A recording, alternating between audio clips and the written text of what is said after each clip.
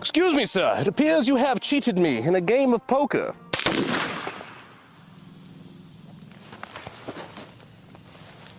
I think we got him.